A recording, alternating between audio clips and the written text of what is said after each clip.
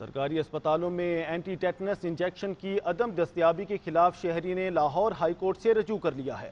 شہری حمید پرویز نے رانا سکندر ایڈوکیٹ کے توسط سے لاہور ہائی کورٹ میں درخواست دائر کی، جس میں سرکاری ہسپتالوں میں اینٹی ٹیٹنس انجیکشن نہ ہونے کی نشاندہی کی گئی ہے۔ رانا سکندر ایڈوکیٹ نے درخواست میں نشاندہی کی کہ درخواست گزار اینٹی ٹیٹنس کے انجیکشن کے لیے سرکاری ہسپتال گئے اور ایک ہسپتال سے دوسرے ہسپتال بھی گئے، لیکن انجیکشن نہیں ملا۔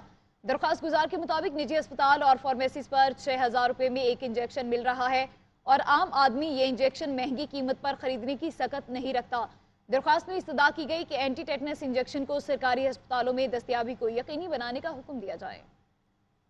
کورٹ میں یہ پٹیشن فائل کی ہے کہ لاہور شہر کے اندر ٹیٹنس کی ویکسینیشن اویلیبل نہیں ہے۔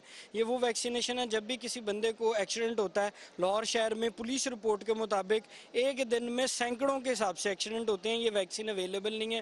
چھ چھ ہزار روپے میں نجی ہاسپٹل میں یہ ویکسینیشن لگ رہی ہے۔ پرائیویٹ جو فارمیسی ہے، وہاں سے پتہ کیا تو بلیک میں بک رہی ہے۔ ہم نے آنریبل ہائی کورٹ میں یہ پٹیشن فائل کی ہے کہ سیکٹری ہیلتھ کو یہ ڈائریکشن دی جائے کہ یہ جو یہ جو ویکسینیشن ہے، اس کی اویلیبلٹی یقینی بنائی جائے۔ گورنمنٹ گورنمنٹ ہاسپٹل میں